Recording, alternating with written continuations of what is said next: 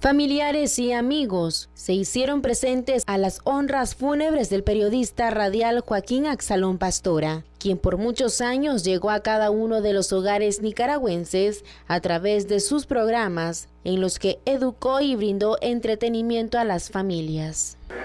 Nosotros tenemos que agradecer como familia el hecho de que Joaquín Absalón Pastora esté siendo reconocido como lo que realmente es como uno de los nicaragüenses periodística, literariamente, académicamente más dotados del periodismo en Nicaragua.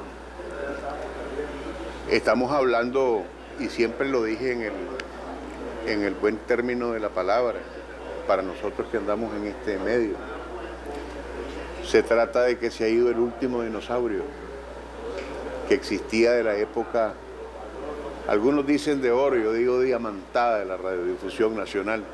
Los que estuvieron presentes y aquellos que crecieron escuchando al ícono del periodismo radial en Nicaragua lo recuerdan por su ingenio y talento. Del, del homenaje que podemos hacerle hoy es recordar toda esa vivencia en la radio, que en aquel momento para muchos de nosotros era el medio de comunicación eh, por excelencia. Sus familiares realizaron un acto en homenaje a Pastorita, donde expresaron lo orgulloso que se sienten de él. Siempre fue muy entregado y fiel a su labor y hasta en tono de broma dijo que era religioso con su compromiso con su audiencia muy en punto a las 7 de la mañana.